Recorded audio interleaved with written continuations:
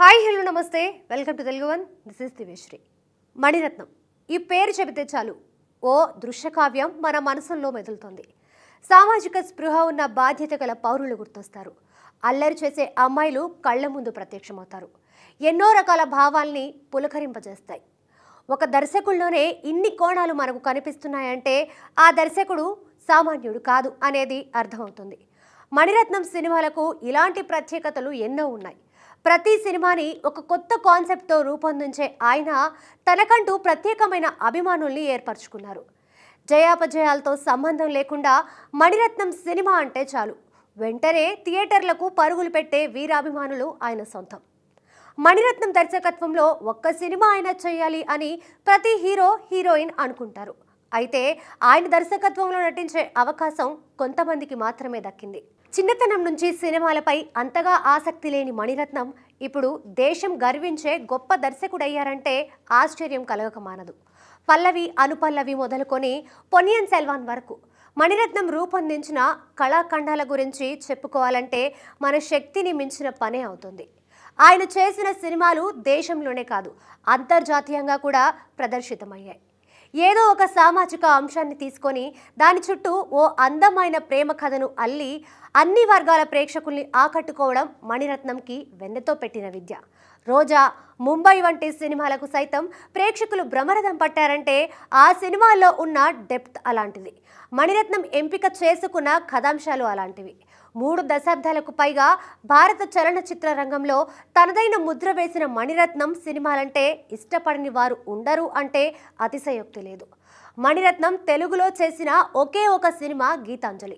అద్భుతమైన ఒక ప్రేమ కావ్యంగా రూపొందిన ఈ సినిమా తర్వాత ఎంతో మంది తెలుగు నిర్మాతలు ఆయనతో సినిమా చేయాలని ప్రయత్నించినా ఫలితం లేకుండా పోయింది. అలాగే మణిరత్నం కెరీర్లో ఓ మైల్డ్ స్టోన్లా నిలిచిపోయే సినిమా నాయకుడు. ఈ సినిమాలో కమల్ హాసన్ నటన మణిరత్నం దర్శకత్వ ప్రతిభ రెండు పోటీ పడ్డాయి.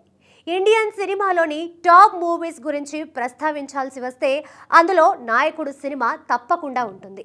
కమల్ మణిరత్నం కాంబినేషన్లో రూపొందిన ఈ సినిమా వారికి అంత మంచి పేరు తెచ్చిపెట్టినప్పటికీ వీరిద్దరి కాంబినేషన్లో మరో సినిమా రూపొందడానికి ముప్పై ఏడు సంవత్సరాలు పైనే పట్టింది.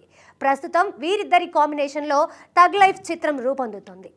టెర్రరిజం ట్రయాలజీగా రూపొందిన చిత్రాలు మణిరత్నం ఖాతాలో చాలానే ఉన్నాయి. రోజా ముంబై దిల్సే వంటి సినిమాలను ఎంతో సాహసోపేతంగా తెరకెక్కించారు మణిరత్నం. ఈ సినిమాలు అంతర్జాతీయ స్థాయిలో కూడా ప్రశంసలు అందుకున్నాయి. మణిరత్నం సినిమా అంటే కథ కథనాలే కాదు అన్ని విభాగాల్లోనూ ప్రత్యేకత కలిగి ఉంటుంది. ప్రతి ఫ్రేమ్ని ఓ పెయింటింగ్లా తీర్చిదిద్దడం ఆయన ప్రత్యేకత.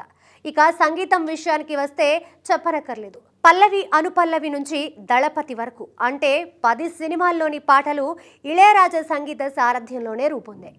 వీరిద్దరి కాంబినేషన్లో రూపొందిన పాటలన్నీ చాలా పెద్ద హిట్ అయ్యాయి.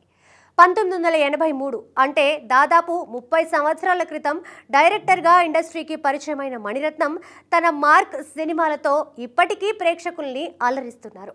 ఆయన సినిమాల్లో ఫోటోగ్రఫీకి అత్యధిక ప్రాధాన్యం ఇస్తారు అందుకే పిసి శ్రీరామ్ సంతోష్ శివన్ వంటి సినిమాటోగ్రాఫర్లు తమ పూర్తి టాలెంట్ని మణిరత్నం సినిమాలకు వినియోగిస్తారు.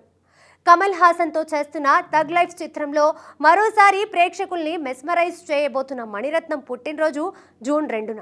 ఈ సందర్భంగా లెజెండరీ డైరెక్టర్ మణిరత్నంకి పుట్టినరోజు శుభాకాంక్షలు తెలియజేస్తోంది మా తెలుగువారు